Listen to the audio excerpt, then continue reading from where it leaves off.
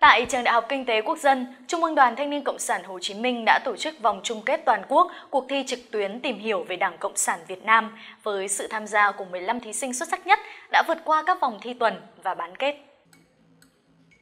Vòng chung kết toàn quốc được tổ chức dưới hình thức đối kháng sân khấu. 15 thí sinh bốc thăm để chia thành 5 đội. Mỗi đội có 3 thành viên với 4 phần thi diễn ra trên sân khấu là Dấu ấn lịch sử, Ánh sáng soi đường, Vinh quang Việt Nam và Vững bước tương lai.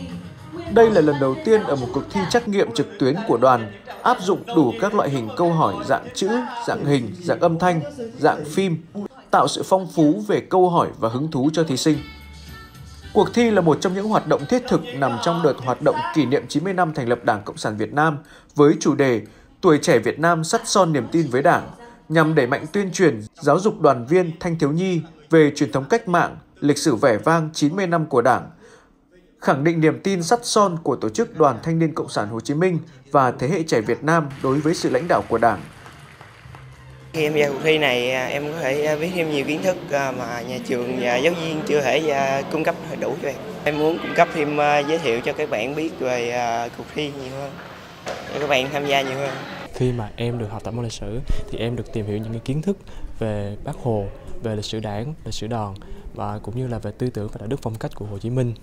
À, và khi mà tham gia cuộc thi tìm hiểu lịch sử đảng à, năm nay thì em cảm thấy là em được à,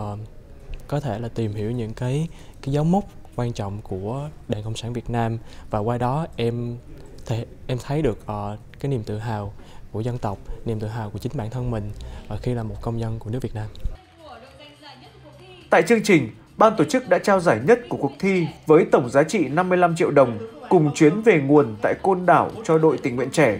Giải nhì có tổng giá trị 39 triệu đồng cùng chuyến về nguồn tại Côn Đảo đã thuộc về đội mùa hè xanh. Giải ba với tổng giá trị 26 triệu đồng được trao cho đội kỳ nghỉ hồng, cùng nhiều giải thưởng có giá trị ở giải cá nhân và đồng đội cho các đội thi.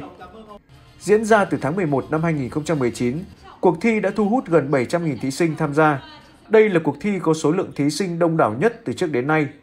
Không chỉ ở trong nước mà cuộc thi còn lan tỏa ra cả học sinh, sinh viên Việt Nam đang học tập ở nước ngoài.